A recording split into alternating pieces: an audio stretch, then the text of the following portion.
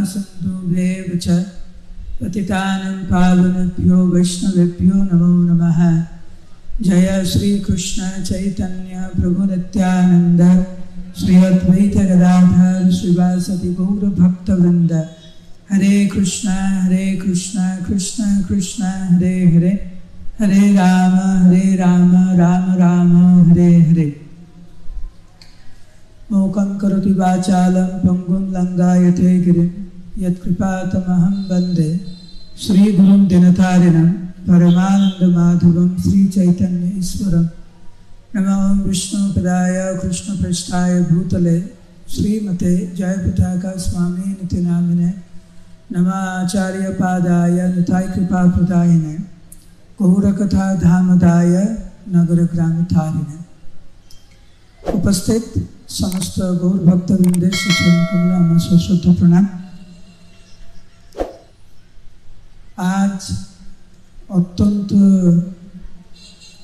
গুরুত্বপূর্ণ একটা দিন সমগ্র বৈষ্ণব সমাজের জন্য। আজ এই দিব্যতিথিতে নামাচার্য শ্রী হরিদাস ঠাকুর জগন্নাথ পুরী ধাম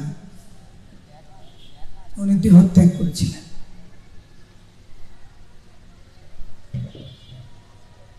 চতস্যাহী ধ্রুবম মৃত্যুর ধ্রুবম জন্ম মৃত্যুসূচি যার জন্ম হয়েছে, তার মৃত্যু অনিবার্য। ভক্তের আর ভগবানের জন্ম মৃত্যু নাই। আবির্ভাব, তিরোভাব, বেদে কহে এই। সাধারণ মানুষের জন্ম মৃত্যু হয়, কিন্তু ভক্তের এবং ভগবানের জন্ম মৃত্যু হয় না। তাদের আবির্ভাব এবং তিরোভাব।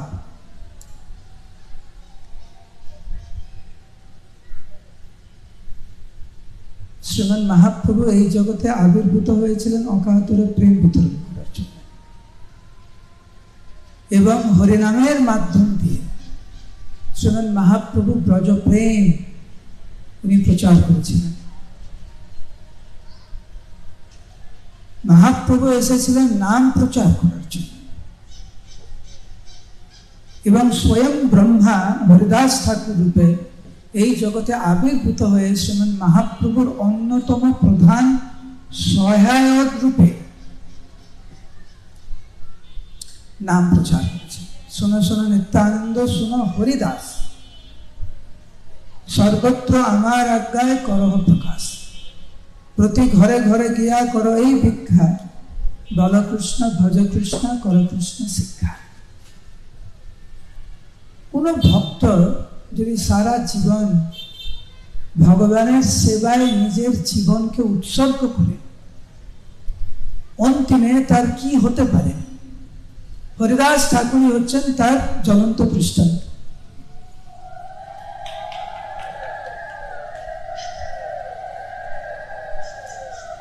হরিদাস ঠাকুর হচ্ছেন তার জ্বলন্ত দৃষ্টান্ত।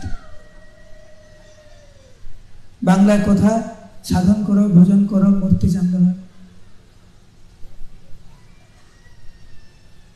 কি মহিমান্বিত ভাবে একজন ভক্ত দেহত্যাগ করতে পারে? তার জ্বলন্ত দৃষ্টান্ত হচ্ছে হরিদাস ঠাকুর। যিনি সারাটা জীবন নামের আশ্রয়ে ছিলেন। হরিদাস ঠাকুরের আবির্ভাব শ্রীমন মহাপ্রভুর আবির্ভাবের অনেক পূর্বে। এবং মহাপ্রভুর আবির্ভাবের অনেক পূর্ব থেকেই হরিদাস ঠাকুর নামের আশ্রয় গ্রহণ করেছিলেন নাম প্রচার করছে বাইশ বাজারে যে বেত্রাঘাট মহাপ্রভুর আবির্ভাবের অনেক আগে। কি দোষ ছিল ওনার? নাম গ্রহণ করেছিলেন চব্বিশ বছর যে মহাপ্রভু নদিয়াতে ছিলেন।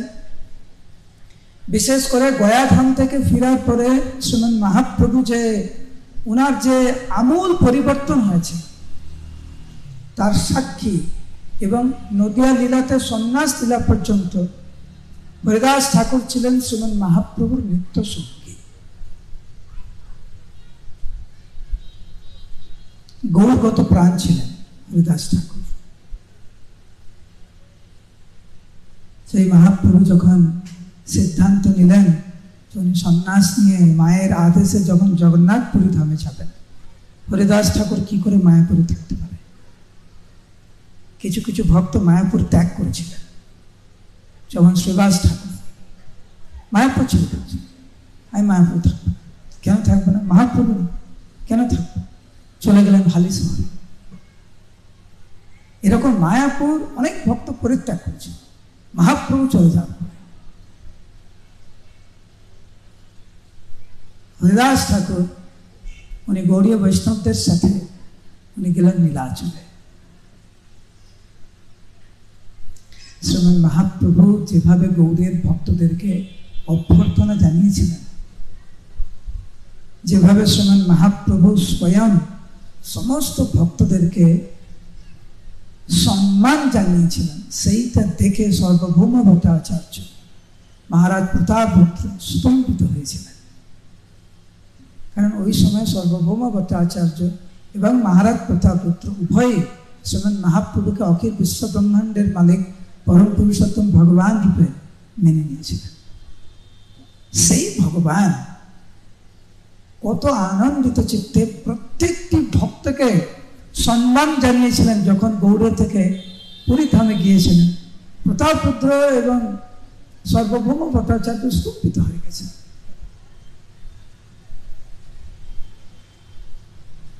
এবং গৌড়ের ভক্তদের মহাপ্রভুর প্রতি যে ভালোবাসা, এইটা দেখে সর্বভৌম ভট্টাচার্য এবং মহারাজ প্রতাপপুত্র অনুভব করেছিলেন, ভক্ত মানে এইরকম মহাপ্রভুকে ভালোবাসা মানে এইরকম। অনেক সময় আমরা ভাবি, আমরাও ভগবানকে ভালোবাসি। কিন্তু যখন অন্য কোনো ভক্তকে আমরা দেখি, তারা কত আরও গভীরভাবে ভালোবাসে, তখন আমরা বুঝতে পারি একে বলে ভালোবাসে। উদ্ধব ভগবান কৃষ্ণের চরণ কমলে কৃতজ্ঞতা জানিয়েছেন। কেন? সাক্ষাৎ বৃহস্পতির শিষ্য উদ্ধব বুদ্ধি সপ্তমা সাক্ষাৎ বৃহস্পতির শিষ্য হচ্ছে উদ্ধব। সেই উদ্ধব নিজেকে তো ভগবানের বন্ধু ভগবানের সখা ভগবানের সেবক ভগবানের পরামর্শদাতা ভগবানের মন্ত্রী ভগবানের সব কিছু। সেই উদ্ধব মনে মনে ভাবছে ও তাহলে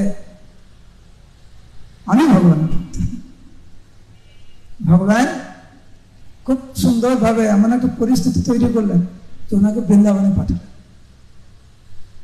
বৃন্দাবনে যখন উনি গেলেন, তখন উনি বুঝতে পারলেন ভক্ত কাকে বলে? ভগবানকে ভালোবাসে কাকে বলে? সেই জন্য পরবর্তীতে বীর ভাগবতামৃতে নারদ মুনি উদ্ধবের কাছে উদ্ধব নারদ মুনির কাছে বলছে, যে হে নারদ মুনি, এখন আমি বুঝতে পেরেছি যে অল্প হলেও ভগবান আমার উপরে কৃপা করেছিলেন। তা নাহলে উনি আমাকে বৃন্দাবনে পাঠাতেন না। উনি যদি বৃন্দাবনে না পারতেন আমি কখনোই বুঝতে পারতাম না যে ভক্ত কাকে বলে। আর আমার মধ্যে যে ভক্তি নেই, আমি যে ভগবানকে ভালোবাসতে শিখলাম না এটা উপলব্ধি হতো না আমার। যখন বৃন্দাবনে গেলেন, তখন মহারাজ প্রতাপরুদ্র এবং সর্বভৌম ভট্টাচার্য গৌড়ের ভক্তদের যে ভালোবাসা, মহাপ্রভুর প্রতি, সেটা দর্শন করে স্তম্ভিত হয়েছিল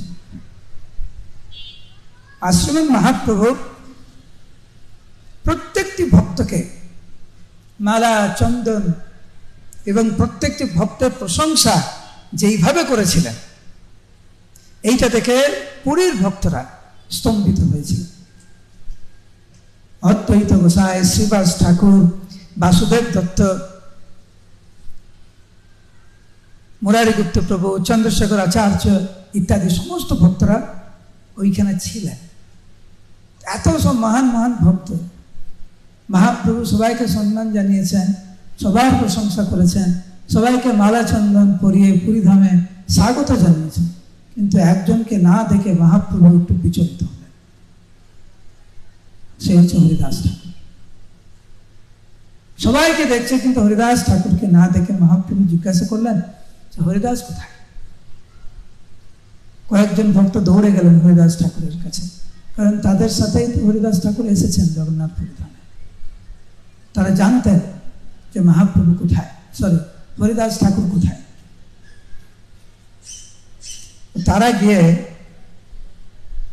হরিদাস ঠাকুরকে বলছেন যে মহাপ্রভু আপনাকে ডাকছেন হরিদাস ঠাকুর তখন উত্তর দিলেন, হরিদাস কহে, মুই নিচ জাতি ছাড় মন্দির নিকটে যাইতে নাহি অধিকার।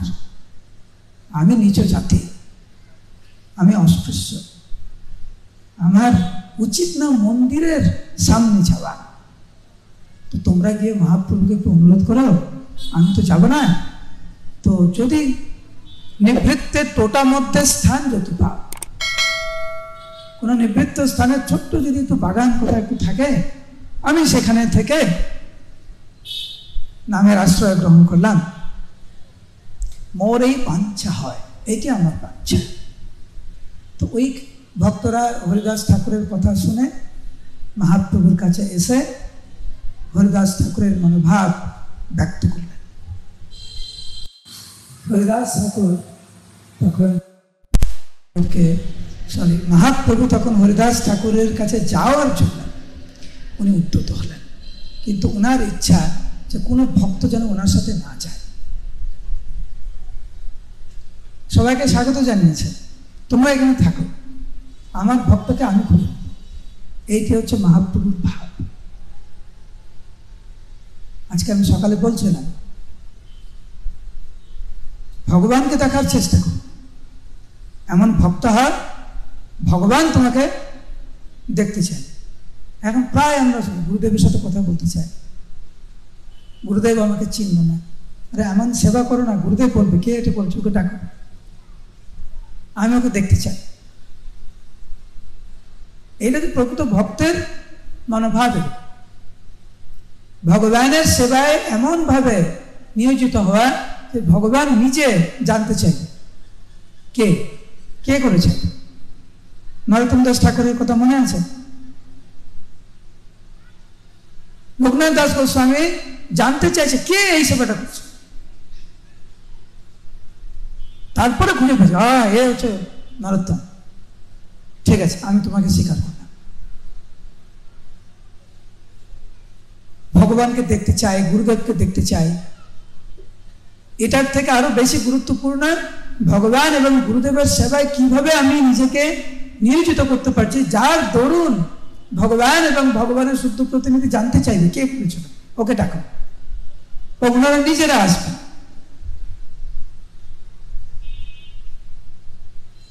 আমি কয়েকদিন আগে একজন ভক্তের সাথে কথা বলছিলাম। মায়াপুরে থাকেন উনি, গুরু মাঝে অত্যন্ত প্রিয়। তো উনি বলছেন, মাঝে মাঝে এখানে বিশেষ অতিথি আছে। আমি বুঝতে পারিনি, কি বলছো? বলছে, আমার ঘরে মাঝে মাঝে বিশেষ অতিথি আছে। বিশেষ অতিথি কে আছে? বলে, মাঝে মাঝে গুরুদেব এখানে আসে। জিজ্ঞাসা করতে, কি করছি আমি বুঝতে পারলাম কত ইম্পর্টেন্ট সেবা করে। গুরুমার তোর কাছে চলে আসে। কি করছ? কোথায় কি হচ্ছে, না হচ্ছে? এটা কেমন হলো? কি করে করল? খুব সুন্দর হয়েছে। ওই রকম শরণাগতি। হরিদাস ঠাকুরের ওই রকম শরণাগতি ছিল। সেই জন্য মহাপ্রভু বললেন, তোমাদের রাস্তা লাগবে না, আমি আমার ভক্তকে খুঁজব। মহাপ্রভু একা একা উনি আসলেন। যেইখানে হরিদাস ঠাকুর ছিলেন, উনি তো এক জায়গায় অবস্থান করে নামের আশ্রয় গ্রহণ করছিলেন অজল ক্রন্দন করছিলেন এবং মহাপ্রভুর কৃপা ভিক্ষা চাইছিলেন উনি। যার কৃপা ভিক্ষা চাইছেন, সেই পরম পুরুষোত্তম ভগবান স্বয়ং ওনার সামনে উপস্থিত। আর উনাকে দেখে হরিদাস ঠাকুর চরণ কমলে লুটিয়ে পড়লেন শ্রীমন মহাপ্রভু দুইজনে প্রেমাবেশে করেন ক্রন্দন প্রভু ভৃত্ত প্রভু গুণে ভৃত্ত বিকল, প্রভু ভৃত্ত দুইজনেই বিকল। উভয়ের ভালোবাসায় দুইজনেই বিকল। এইভাবে চার বস্তুটা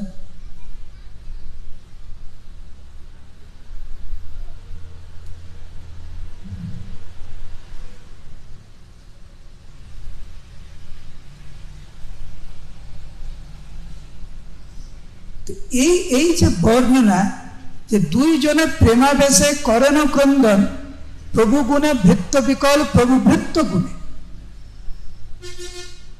এই বর্ণনা কিন্তু চৈতন্য চরিতামৃতে এবং চৈতন্য ভাগবতে আমরা প্রায় দেখি। রায় রামানন্দ মহাপ্রভু একই বর্ণনা। স্বাভাবিক প্রেম দুহার উদয় করিলা দুহা আলিঙ্গিয়ে তুই ভূমেতে পড়িলা। দুইজনেই বিকল শ্রীমন মহাপ্রভু এবং রায় এইখানে দুইজনেই বিকল চৈতন্য চৈতন্যের মহাপ্রভু বিকল আর হরিদাস ঠাকুর বিকল কেন? প্রভু গুণে ভৃত্য বিকল, প্রভু গুণে, প্রভু ভৃত্য গুণ। উভয়, উভয়ের প্রতি যে ভালোবাসা, তার ফলে বিকল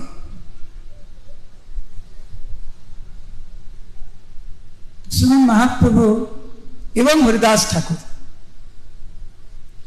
দুইজনে অনেকক্ষণ ক্রন্দন করার পরে যখন শান্ত হলে তো মহাপ্রভু তো হরিদাস ঠাকুরকে বুকে জড়িয়ে ধরতে চাইছেন। কারণ হরিদাস ঠাকুর যেই ভাব নিয়ে পরিধানে এসেছিলেন, সেই একই ভাব ছিল কিন্তু শ্রীমান মহাপ্রভু।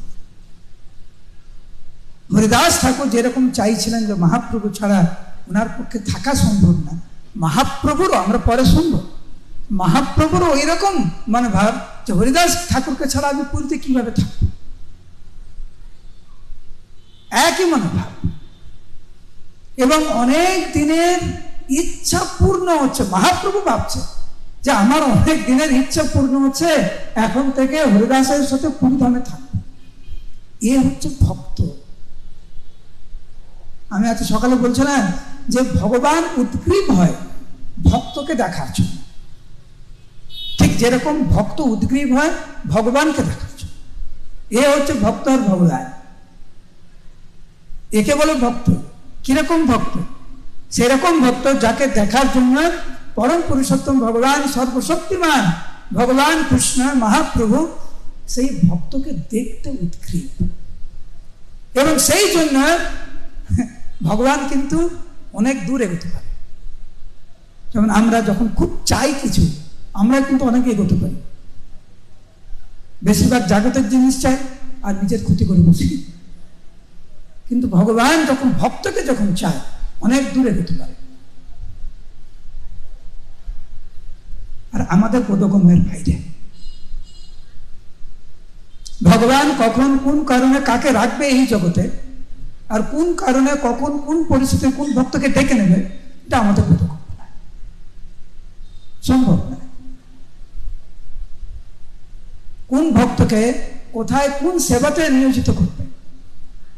কাদেরকে নিয়োজিত করবে? যারা পূর্ণরূপে শরণাগত। আর সেই জন্য ভক্তরা গোলক বৃন্দাবনে যাওয়ার জন্য পাগল হয় না।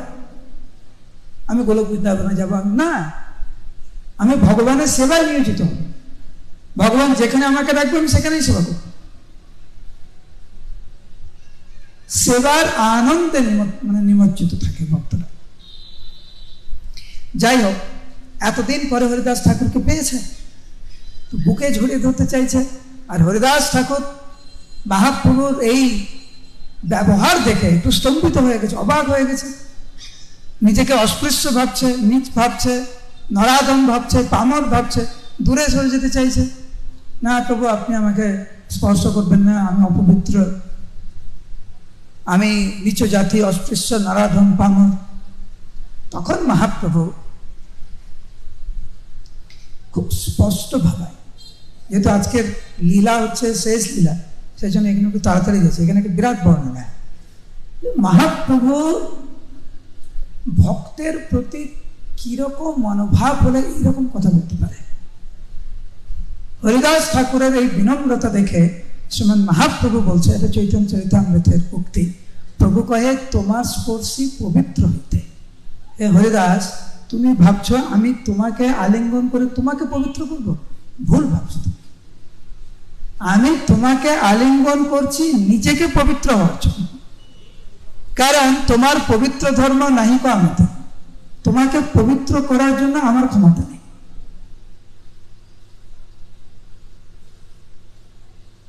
ক্ষণে ক্ষণে তুমি করো সর্বতীর্থে স্নান। তুমি সর্বক্ষণ সর্বতীর্থে তুমি স্নান করো। সর্বক্ষণ তুমি যজ্ঞ করো, তপ করো, দান তুমি সর্বক্ষণ চারি বেদ তুমি অধ্যয়ন করো। কারণ তুমি নিরন্তর তুমি হরিনাম চাইছ। যারা যারা এই যে কিছু কিছু ব্রত, তপস্যার জন্য যারা পাগল হয়ে যায় তাদের উদ্দেশ্যে একটা বিশেষ শিক্ষা এটা। প্রকৃত তপস্যা, প্রকৃত যোগ্য প্রকৃত দান, প্রকৃত অধ্যায়ন হচ্ছে পূর্ণরূপে নামের আশ্রয় পাওয়া। হরিদাস ঠাকুর করতেন আর সেই জন্য শ্রীমান মহাপ্রভু বললেন যে ক্ষণে ক্ষণে করো তুমি সর্বতীর্থে স্নান ক্ষণে ক্ষণে করো তুমি যোগ্য তপদান, নিরন্তর চারি বেদ অধ্যায় আমরা জানি আমরা জব কেমন করি। অনেক কিছু ভালো হয়। বিশেষ করে আমি দেখেছি, যখন কোনো বিশেষ কোনো তিথি আসে, চতুর্মাস, অনেক নিয়ম পালন, পালনে অনেক পারদর্শিতা। জপের সময় পুরো ঘুমন্ত। দেখবেন, উপবাস, লম্বা দাড়ি রাখা, তারপরে এই নখ রাখবে তারপরে মস্তক মুন্ডন করবে না বিভিন্ন সেবাতে যাবে না, অনেক কিছু করবে। মহাপ্রভুর শিক্ষা কিন্তু এই, বিশেষ করে এই কলিযুগে।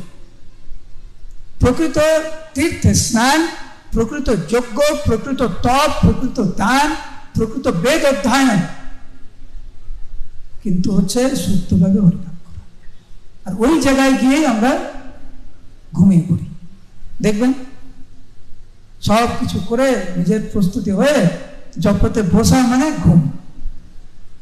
এই জন্য হরিদাস ঠাকুরের মাধ্যমে শ্রীমন মহাপ্রভু এই শিক্ষা আমাদেরকে দিলেন।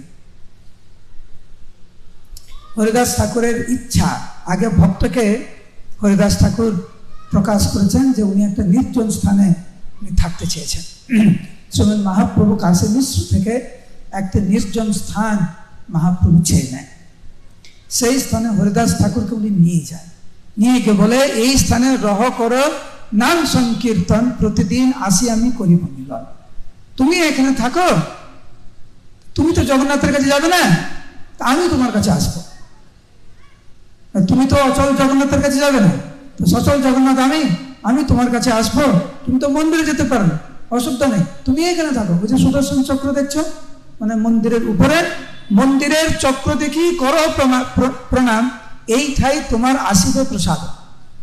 তুমি এইখানে সুদর্শন চক্রকে দেখে প্রণাম করো মানে জগন্নাথকে দর্শন করার সময় আর প্রসাদের কথা তুমি চিন্তা করবে আমি নিজে তোমার কাছে প্রসাদ পাঠাবো। আর কি লাগবে আপনাদের থাকার জায়গা ভগবান করে দিয়েছে। প্রসাদের ব্যবস্থা নিজে করে দিয়েছে। বলছে, আমি তোমার কাছে প্রত্যেক দিন আসব। আর কি দরকার? বিশেষ করে যারা মন্দিরের আবাসিক ভক্তবৃন্দ এবং যে সমস্ত গৃহস্থ ভক্তরা মন্দিরের সাথে যুক্ত, একটু চিন্তা করবেন। ভগবানের প্রতি একটু কৃতজ্ঞ হন। ভগবান কিন্তু কম বেশি আমাদের সবাইকে একটু প্রসাদ পাওয়ার ব্যবস্থা করে দিয়েছে জোরে বলবেন হ্যাঁ কি না কম বেশি একটু থাকার ব্যবস্থা করে দিয়েছে। হ্যাঁ কি না? এখন আর নিঃশ্বাস নিতে পারছি। হ্যাঁ কি না? আর কি লাগে?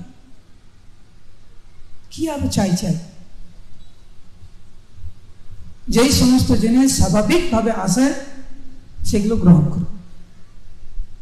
এই জড়জগতে এই জাগতিক সুখ স্বাচ্ছন্দ্যের প্রতি এতটা পাগল হয়ে যাওয়া উচিত না।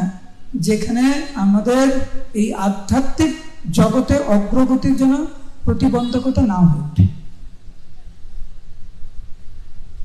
হ্যাঁ কিছু করা দরকার। হ্যাঁ কিছু করা দরকার, করুন। এইরকম না, দিন, রাত, সব কিছু বাদ দিয়ে, ভক্তি জীবন বাদ দিয়ে এখন শুধু এইটা নিয়ে পড়ে আছে। ভুল হবে। তো হরিদাস ঠাকুরকে শ্রীমন মহাপ্রভু সব কিছু উনি ব্যবস্থা করে দিলেন। চৈতন্য চৈতন্য তার বর্ণনা শুনে একটা শব্দ শুনুন। কৃষ্ণদাস কবিরাজ কীরকম, গোস্বামী কীরকম বর্ণনা করছে? তবে প্রভু তারপরে মহাপ্রভু চলে এসছে ঘরে। ঘরে প্রসাদ পেয়েছে। প্রসাদ পাওয়ার পরে তবে প্রভু প্রসাদান্ন গোবিন্দের হাতে দিলা, যত্ন করি হরিদাস ঠাকুরে পাঠাইলা। মহাপ্রভু প্রসাদ পাওয়ার পরে মহাপ্রভু স্বয়ং গোবিন্দের হাতে প্রসাদ তুলে দিল এইটা হরিদাসের কাছে নিয়ে যাও। যত্ন করে, অত্যন্ত যত্ন সহকারে ভগবান স্বয়ং ভক্তের জন্য প্রসাদের ব্যবস্থা করে দিচ্ছে কীরকম ভক্ত ছিলেন হরিদাস?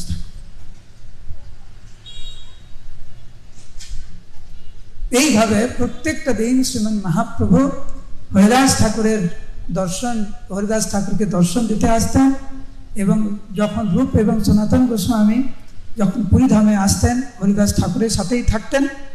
মহাপ্রভু ওইখানে এসে হরিদাস ঠাকুরের সাথে অনেক লীলা। যে হরিনাম চিন্তামণি গ্রন্থ আপনারা শুনেছেন নাম এই হরিনাম চিন্তামণি কিন্তু প্রকৃতপক্ষে শ্রীমন মহাপ্রভু এবং হরিদাস ঠাকুরের মধ্যে কত কথোপকথন। এইটাই ভক্তনাথ ঠাকুর হরিনাম চিন্তামণি রূপে সেই গ্রন্থ প্রকাশ করেছে। মহাপ্রভু প্রশ্ন করছে, হরিদাস ঠাকুর উত্তর দিচ্ছে। ঠিক যেরকম চৈতন্য চৈতন্যতা আমরা পাই, মহাপ্রভু প্রশ্ন করছে, রায় রামানন্দ উত্তর দিচ্ছে। তো হরিনাম সম্পর্কে মহাপ্রভু প্রশ্ন করছে আর হরিদাস ঠাকুর উত্তর দিচ্ছে। এই গ্রন্থের নাম হচ্ছে হরিনাম চিন্তা।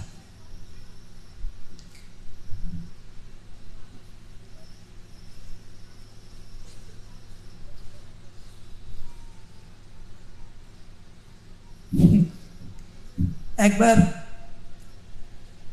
হরিদাস ঠাকুর লক্ষ্য করছে যে মহাপ্রভু সনাতন গোস্বামীকে কত ভালোবাসে। এবং কীভাবে মহাপ্রভু স্বয়ং হরিদাস সনাতন গোস্বামীর দেহে যে রোগ ছিল, তা আলিঙ্গনের মাধ্যমে ঠিক করে দিয়েছে। এবং মহাপ্রভু যেভাবে সনাতন গোস্বামীর সাথে কথা বলত, এইটা দেখে হরিদাস ঠাকুরের খুব খুব খুব খুব আনন্দ খুব আনন্দ। আমাদের ঠিক যেরকম বিপরীত হয় আর কি। অন্যদের কেউ যখন ভালো পায়, আমাদের খারাপ লাগে। কিন্তু মহাপ্রভু যখন হরিদাস ঠাকুর, মহাপ্রভু যখন সনাতন গোস্বামীকে বিশেষ কৃপা করতেন, হরিদাস ঠাকুরের মনে খুব আনন্দ। তখন হরিদাস ঠাকুরের, হরিদাস ঠাকুর সনাতন গোস্বামীকে বলছে, তোমার দেহ কহেন প্রভু, মোর নিজ ধন। সনাতন সনাতন, তুমি কত সৌভাগ্যবান। যে তোমার দেহকে মহাপ্রভু বলছে, এটা তার দেহ মানে তার সম্পত্তি। তোমার সময় ভাগ্যবান নাহি করছ। হরিদাস ঠাকুর সনাতন গোস্বামীকে বলছেন যে তোমার মতো ভাগ্যবান ব্যক্তি এই এই জগতে কেউ নাই। গুরুদেব যদি আপনাকে বলে, ভগবান যদি আপনাকে বলে যে তুমি হচ্ছে আমার সম্পত্তি, এর থেকে বড় চাওয়া কি হতে পারে? এর থেকে বড় পাওনা তো তো হতে পারে। তো এইটাই হরিদাস ঠাকুর সনাতন গোস্বামীকে বলছেন। তখন সনাতন গোস্বামী পাদ হরিদাস ঠাকুরের মহিমা বর্ণনা করে বলছেন যে, প্রথমে উনি প্রকাশ করলেন কীভাবে হরিদাস ঠাকুর মহাপ্রভুর নিত্য পার্শ্বদ এবং কীভাবে মহাপ্রভু হরিদাস ঠাকুরের মাধ্যমে এই জগতে হরিনাম প্রচার করছেন। তারপরে উনি বললেন, আপনে আচরে কেহ না করে প্রচার। কেউ কেউ প্রচার করে, কিন্তু আচরণ করেন কেউ কেউ আবার আচরণ করে, কিন্তু প্রচার কিন্তু আচার প্রচার নামের করহদুই কার্য তুমি সর্বগুরু, তুমি জগতের আর্য। তুমি প্রকৃতপক্ষে জগতের গুরু, তুমি জগতের আর্য, কারণ তুমি প্রচার এবং আচরণ দুটোই তুমি করো।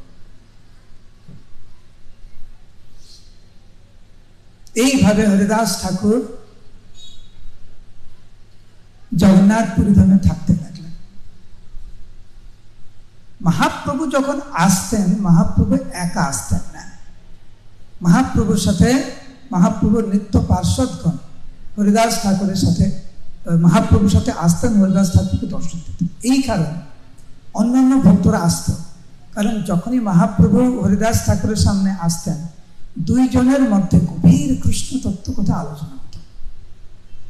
এবং এইটা অত্যন্ত আনন্দিত চিত্তে অন্যান্য ভক্তরা শ্রবণ করত। আমাদের কল্পনার অতীত। যে কৃষ্ণ কথা আলোচিত হচ্ছে মহাপ্রভু এবং হরিদাস ঠাকুরের মধ্যে, এটা কোন পর্যায়ে কৃষ্ণ কথা সেই জন্য ওনারা আসতেন। স্বরূপ দামোদর গোস্বামী বক্রেশ্বর পণ্ডিত আদি আসতেন মহাপ্রভুর সাথে। গোবিন্দ প্রত্যেকটা দিন মহাপ্রভুর প্রসাদ নিয়ে যেতেন হরিদাস ঠাকুরের কাছে। তো একদিন আমি সংক্ষেপে বলছি, একদিন গোবিন্দ যখন মহাপ্রভুর প্রসাদ নিয়ে আসেন হরিদাস ঠাকুরের কাছে, এই দিনকার গোবিন্দ একটু অবাক হয়েছে। অন্যান্য দিনের মতো না। আজকে গোবিন্দ দেখছে যে হরিদাস ঠাকুর শুয়ে শুয়ে হরিনাম করছে। অনেক সময় আমরা জিজ্ঞেস করি, না যে শুয়ে শুয়ে জব করা যাবে কি না? বোঝা উচিত আমাদের কোন পর্যায়ে শুয়ে শুয়ে জব করা যায়। যেই পর্যায়ে আমাদের বসে থাকার সামর্থ্য নাই। যেই পর্যায়ে দাঁড়িয়ে থাকার সামর্থ্য নাই, শক্তি নাই, শারীরিক শক্তি নাই, সেই পর্যায়ে শুয়ে শুয়ে ঠিক হরিদাস ঠাকুর শুয়ে শুয়ে মন্দ মন্দ করিতেছে সংখ্যা সংকীর্তন।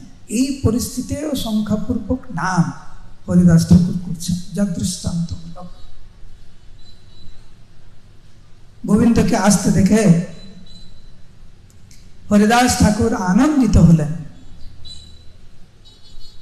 গোবিন্দ হরিদাস ঠাকুরকে বলছেন যে, আমি তো এসেছি, আপনি দয়া করে উঠুন, প্রসাদ পান।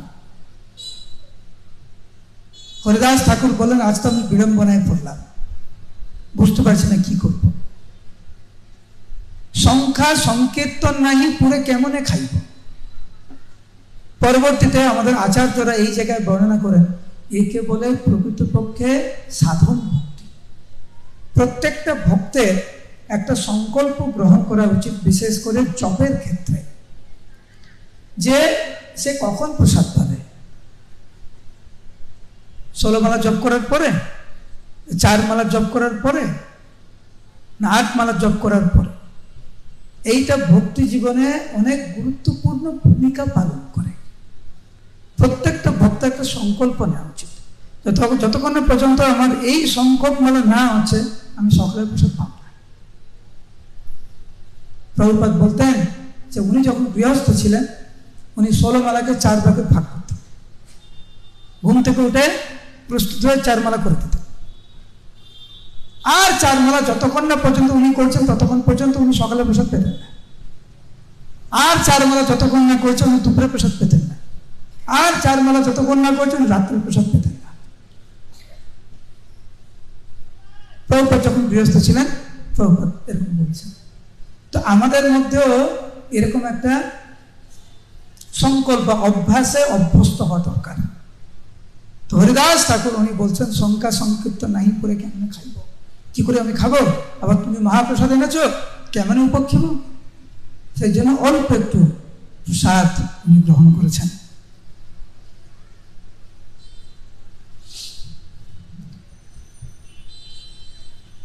আমি কাউকে ভয় পাওয়ানোর চেষ্টা করছি না।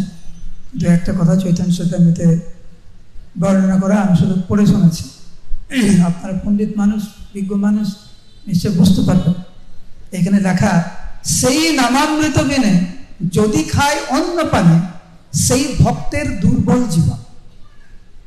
বুঝতে পারছেন? বোঝা গেছে না বলতে হবে? বোঝা গেছে? আরে হ্যাঁ কিনা বলবে তো? না, দুর্বল জীবন জীবন মানে জীবন, দুর্বল জীবন মানে সবাই বুঝতে হবে দুর্বল জীবন। আমাদের জীবন শক্তিশালী জীবন না দুর্বল জীবন? আমরা জানি, বিশেষ করে আধ্যাত্মিক জীবন আমাদের দুর্বল না শক্তিশালী। তো এইখানে বর্ণনা যে নামামৃতে মধ্যে না ডুবে যদি আমরা অন্নামৃতে যদি ডুবে থাকি, তাহলে ভক্তের জীবন স্বাভাবিকভাবে দুর্বল। অন্নামৃত মানে ভাত নামামৃত মানে নাম তো কোন দিকে যাবে? যদি নামামৃতের মধ্যে ডুবে থাকো, তাহলে শক্তিশালী হবে। যদি অন্নামৃতের মধ্যে ডুবে থাকো, তাহলে দুর্বল হবে। তবে ভক্তের দুর্বল জীবন খুব সোজা কথা। জীবের লালসে যেই ইতি উতি ধায় শিষ্ণদর পরায়ণ, কৃষ্ণ নাহি পায়। আর এইটা কিন্তু হরিনামের সাথে জিহ্বা তো। জিহ্বা দিয়ে নাম উচ্চারণ, জিহ্বা দিয়ে প্রসাদ পাওয়া। খুব সাবধান। তবে হয় ভক্তের তবে তবু ভক্তের দুর্বল জীবন। সাবধান। প্রসাদ পাওয়া দরকার। না বলছি বিশেষ করে নরসিংহের ভক্ত প্রসাদ পাবেন, এটা হয় না প্রসাদ পাবেন, অনেক প্রসাদ পাবেন। কোনো অসুবিধা নেই। তার সাথে সাথে আমাদের খুব সচেতন হতে হবে, যাতে নামের মধ্যে যেন আমরা ডুবে থাকি। খুব গুরুত্বপূর্ণ। তো গোবিন্দ গিয়ে মহাপ্রভুক সব বলেছে যে প্রভু আজকের এই অবস্থা শ্রীমান মহাপ্রভু ওনার অন্তরঙ্গ পার্শ্বদের নিয়ে তারপরের দিন মহাপ্রভু আসলেন। এসেই মহাপ্রভু জিজ্ঞাসা করছে, হরিদাস, কেমন আছো তুমি? হরিদাস ঠাকুর বলছেন, প্রভু, আমার শরীর খুব ভালো। মন খুব খারাপ। আমরা কি বলতাম? ঠিক উল্টো না। মনটা ঠিক আছে শরীরটা খুব খারাপ। আমার তো মনে হয় না যে আমরা সাধারণত এই শব্দটা ব্যবহার করি ভক্তদের মানে কোনো সিনিয়র বৈষ্ণবদের কাছে। বেশিরভাগ শরীরটা খারাপ হলে আমার শরীর খুব খারাপ। হরিদাস ঠাকুর মৃত্যু সজ্জায় কিন্তু। তো মহাপ্রভুকে বলছে, আমার শরীর ঠিক আছে, মনটা খারাপ। কি হয়েছে তোমার? তখন হরিদাস ঠাকুর বলছে যে, আমার সংখ্যা পূর্ণ হচ্ছে না অসুবিধা হচ্ছে। মহাপ্রভু তখন তাকে বলে প্রভু কয়ে, বৃদ্ধ গেলে সংখ্যা অল্প করো, তোমার তো বয়স হলো। সংখ্যাটা একটু কম করো। আর সিদ্ধ দেও তুমি সাধনের আগ্রহ কেন ধরো? তুমি তো সিদ্ধপ্রাপ্ত হয়েছ। নিয়মের প্রতি তোমার এত আগ্রহ কেন? তুমি এসেছিলে এই জগতের এই জগতের মানুষদের কাছে হরিনাম বিতরণ করার জন্য। তা তুমি করেছ? এবে সংখ্যা অল্প করে করো সংক্ষিপ্ত সংখ্যাটা একটু কমে দেয় মহাপ্রভুর এই কথা শুনে হরিদাস ঠাকুর ক্রন্দন করতে লাগলেন। কারণ প্রভুর মুখে নিজের প্রশংসা হরিদাস ঠাকুরের পক্ষে শোনা অত্যন্ত কষ্টকর ছিল। ভক্তের জীবন অনেক আলাদা। ভক্ত বলতে আমরা যা বুঝি এবং শাস্ত্রে যা বর্ণনা করা হয়েছে, তা আকাশ পাতার পার্থক্য। এইখানে যেহেতু শ্রীমন মহাপ্রভু হরিদাস ঠাকুরের প্রশংসা করছে হরিদাস ঠাকুর বিনম্র চিত্তে ক্রন্দন করছে।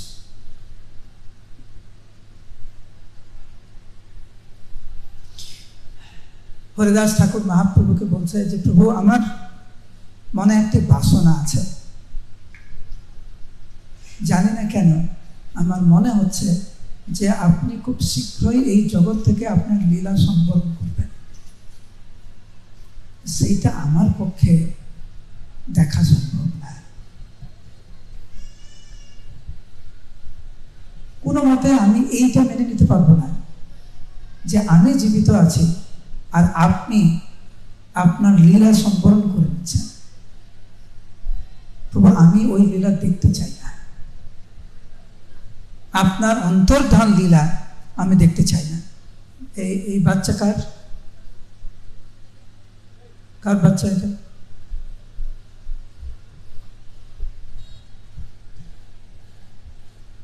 তো আমি আপনার এই অন্তর্ধান লীলা আমি দেখতে চাই না। আমার খুব ইচ্ছা যে তার পূর্বে যেন আমার দেহপাত হয়।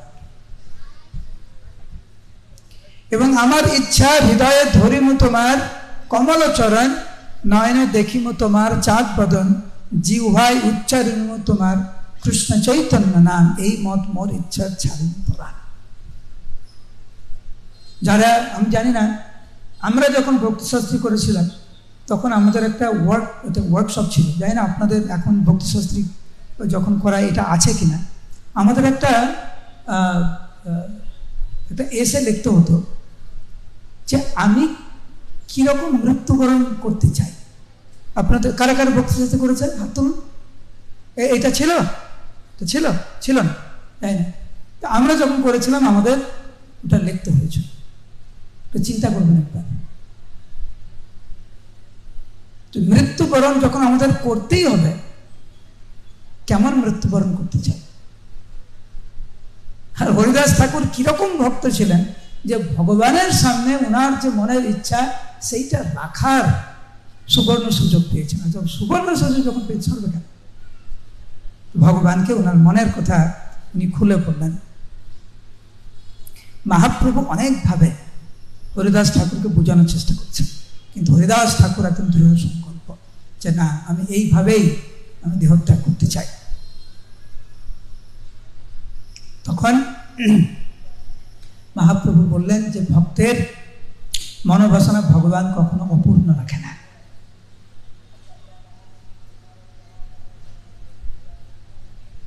প্রভু কয়ে হরিদাস, যে তুমি মাগিবে, কৃষ্ণ কৃপাময় তাহা অবশ্য করিবে। কৃষ্ণ দয়াময় তোমার মনোবাসনা পূর্ণ করবে। কিন্তু তুমি এটাও কি বোঝার চেষ্টা করছ না, যে আমার সমস্ত লীলা, আমার সমস্ত আনন্দ তোমাকে নিয়ে, আর তুমি চাইছো আমার আগে চলে যেতে। তোমার যোগ্য নয় যাও আমারে ছাড়িয়া। এটা তোমার উচিত না যে তুমি আমার আগে চলে যেতে চাইছো। ভক্ত এবং ভগবানের মধ্যে। এই যে ভাবের আদান প্রদান ভক্ত চাইছে ভগবানের আগে যেতে, আর ভগবান বলছে, তুমি কি করে ভাবছ এটা? তুমি আমার আগে চলে যাবে। মহাপ্রভু এই সময় ক্রন্দন করছিলেন যে হরিদাস ঠাকুরের এই মনোবাসনা শ্রবণ করে। কারণ মহাপ্রভু ভাবছেন, হরিদাস ঠাকুর আমাকে ছেড়ে চলে যেতে চাইছে। যখন মহাপ্রভু যখন বললেন, তোমার সমস্ত লীলা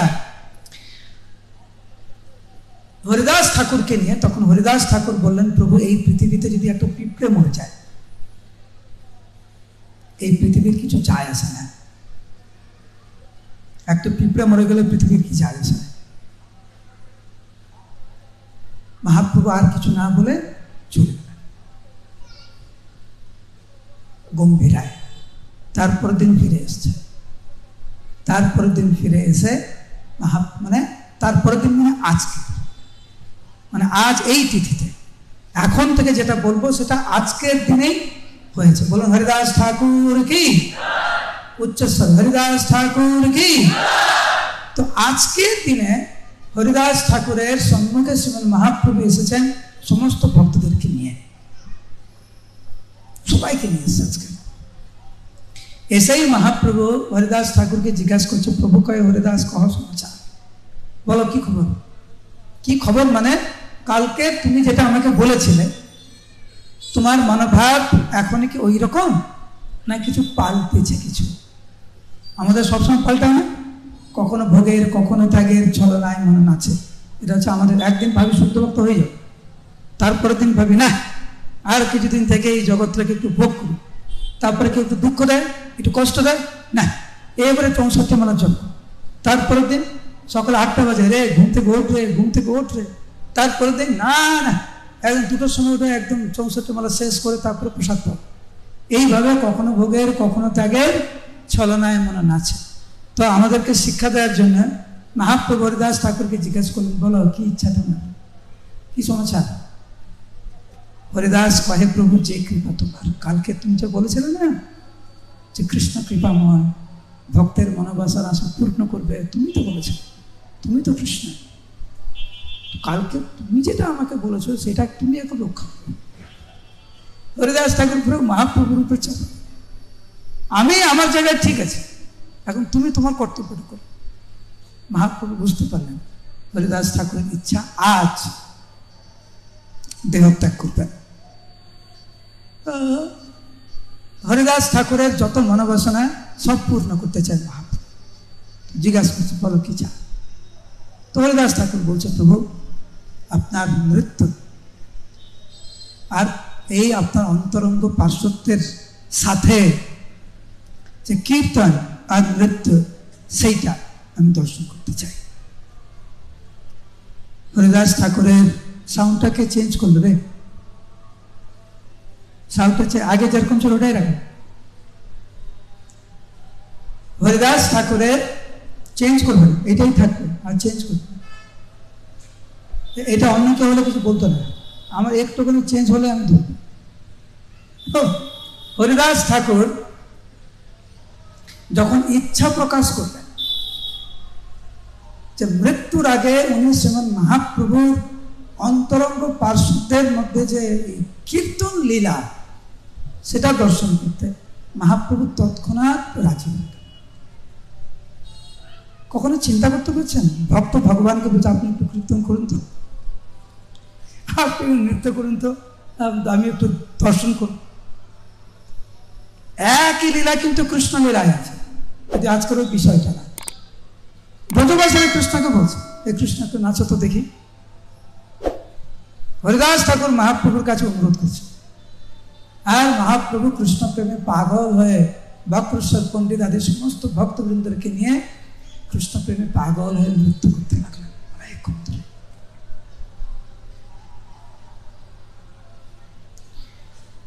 অঙ্গনে আরম্ভিল প্রভু, মহাসংকীর্তন বক্রেশ্বর পণ্ডিত তাহা করেন নর্তন স্বরূপ গোস্বামী আদি যত প্রভুগণ হরিদাসের বেরি করে নাম সংকীর্তন। অনেকক্ষণ এইভাবে নৃত্য গীত করার পরে হরিদাস ঠাকুর ইঙ্গিত দিলেন, এখন তুমি আমার কাছে আসো। হরিদাস ঠাকুর যা বলছে মহাপ্রভু এবারে মহাপ্রভু কাছে এসেছে। হরিদাস নিজাগ্রতে প্রভু বসাইল, নিজ নেত্র দুই ভৃঙ্গ মুখপদ্ম দিল। পূর্ণরূপে মহাপ্রভুর মুখমণ্ডলের দিকে হরিদাস ঠাকুর ধ্যানস্থ হলেন। ওনার হৃদয়ে শ্রীমান মহাপ্রভুর চরণ যুগল উনি ধারণ করলেন। সমস্ত ভক্তদের থেকে উনি কৃপা প্রার্থনা করলেন। চরণ রেণু মস্তকে উনি ধারণ করলেন এবং মুখ দিয়ে শ্রীকৃষ্ণ চৈতন্য উনি বারবার উচ্চারণ করতে লাগলেন। মহাপ্রভুর মুখপদ্ম পানে উনি তাকে অঝরে ক্রন্দন করতে লাগলেন এবং ভগবান শ্রীমন মহাপ্রভুর নাম করতে করতে উনি দেহত্যাগ করলেন। সমস্ত ভক্তদের সামনে হরিদাস ঠাকুর যখন দেহত্যাগ করেছিলেন, প্রেমানন্দে মহাপ্রভু হইলা ঠিক যেরকম একজন পিতা তার অত্যন্ত প্রিয় সন্তানকে হারিয়ে যেইভাবে ক্রন্দন করেন শ্রীমদ মহাপ্রভু ঠিক সেইভাবে ক্রন্দন করেছিলেন ওনার নিজ প্রিয় পুত্রকে হারিয়ে, হরিদাস ঠাকুরকে হারিয়ে। প্রভুর আবেশ দেখি সর্বভক্তগণ প্রেমানন্দে সবে নাচে করেন কীর্তন। মহাপ্রভু হরিদাস ঠাকুরের দিব্য দেহ নিয়ে উনি নৃত্য করতে লাগলেন। অনেকক্ষণ ধরে স্বরূপ দামোদর গোস্বামীর ইচ্ছায় মহাপ্রভু কীর্তন মুক্ত করলেন। এবং সমস্ত ভক্তদের সহিত কীর্তন করতে করতে, নৃত্য করতে করতে শ্রীমান মহাপ্রভু সমুদ্রের তীরে নিয়ে আসলেন হরিদাস ঠাকুরকে হরিদাস ঠাকুরকে সমুদ্রের জলে স্নান করানো। যেহেতু সেই সমুদ্রের জলে হরিদাস ঠাকুরের দিব্য দেহ যেহেতু স্নান করানো হয়েছিল, সেই জন্য মহাপ্রভু বললেন, প্রভু কয়ের সমুদ্র এই মহাতীর্থ হইলা। এই সমুদ্র হলো মহাতীর্থ, কারণ হরিদাস ঠাকুরের দিব্য দেহ এই জলে স্নান করানো হয়েছে। এইটি হচ্ছে ভক্ত। সে সমুদ্রকেও পবিত্র করতে পারে, তীর্থকেও পবিত্র করতে পারে।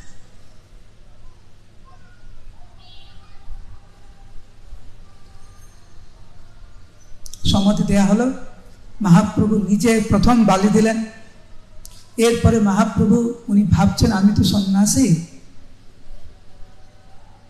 আমার নিজ প্রিয় পুত্র হরিদাস চলে গেলেন, উনি বৈষ্ণব সেবা দিতে চেয়েছিলেন। কিন্তু উনি ভাবছেন উনি তো সন্ন্যাসী ওনার কিছু নেই। সেই জন্য উনি ভিক্ষা করতে গেলেন, আনন্দ বাজারে।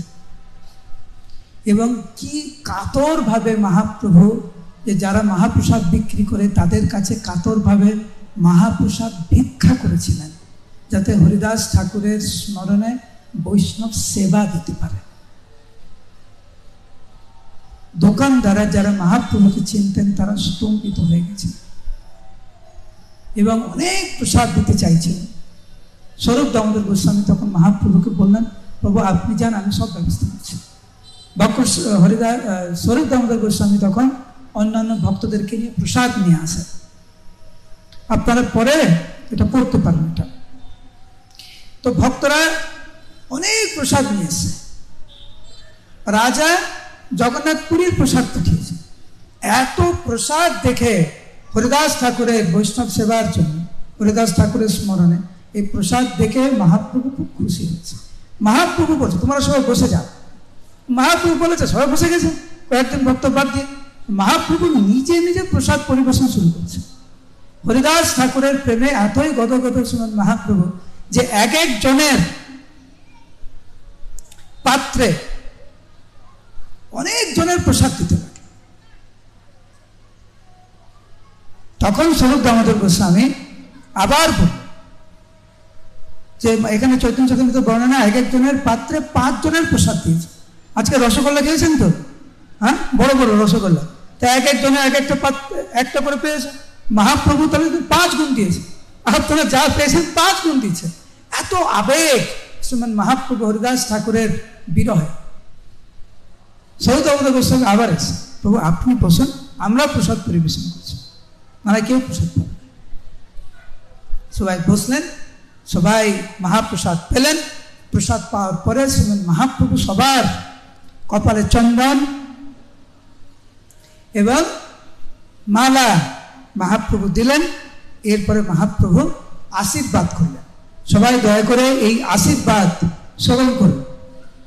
চৈতন্য চৈতন্যতের বর্ণনা, হরিদাসের বিজয় উৎসব যে কইল দর্শন যেই তাহা নৃত্য কইল, যে কইল কীর্তন, যেই তারে বালু দিতে করিল গমন, তার মহোৎসবে যেবা করিল ভজন। কয়েকটা কথা। এক, এই হরিদাস ঠাকুরের যে তিরোভাব যিনি দর্শন করেছেন, যিনি এই যে বিজয় উৎসব তিনি দর্শন করেছেন, তিরুভাবের পরে আগে যিনি নৃত্য করেছেন, কীর্তন করেছেন সমাধিতে যিনি বালি দিয়েছেন এবং প্রসাদ যারা পেয়েছেন, মহাপ্রভু বললেন, ও চিরে হইবে সবার কৃষ্ণ প্রেম প্রাপ্তি। আমি আশীর্বাদ করছি, সবার কৃষ্ণ প্রেম হবে। কেন? হরিদাস দর্শনে ওই যে হয় শক্তি। এটি হচ্ছে ভগবানের সত্য প্রতিনিধির শক্তি। এরপরে মহাপ্রভু অত্যন্ত কাতর হয়ে হরিদাস ঠাকুরের বিরহে বলছেন, কৃপা করি কৃষ্ণ মোরে দিয়াছিল সঙ্গ, স্বতন্ত্র কৃষ্ণের ইচ্ছায় হইল সঙ্গ ভঙ্গ।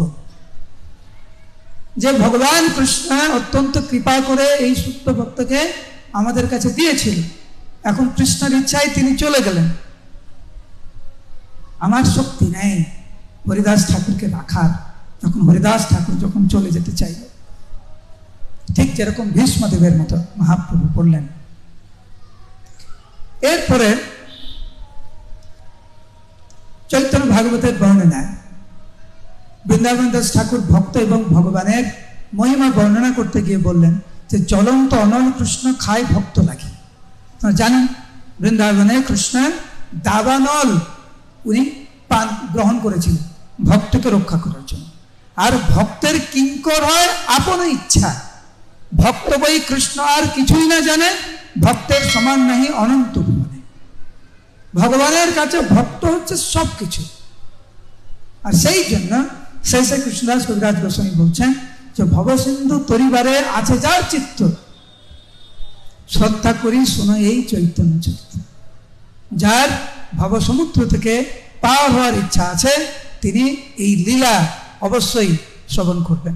তো আমরা অত্যন্ত সৌভাগ্যবান যে পাঁচশো বছর পরেও কৃষ্ণদাস কবিরাজ গোস্বামীর বিশেষ আশীর্বাদ। আজ আমরা সেই লীলা আমরা শ্রবণ করতে পারি, কীর্তন করতে পারি, মহাপ্রসাদ গ্রহণ করতে পারি, হরিদাস ঠাকুরের জয়ধ্বনি দিতে পারি, যার ফলে মহাপ্রভু আশীর্বাদ করেছেন যে এর ফলে কৃষ্ণ প্রাপ্তি হবে। হরে কৃষ্ণ হরে কৃষ্ণ কৃষ্ণ কৃষ্ণ, হরে হরে হরে রাম হরে রাম। রাম রাম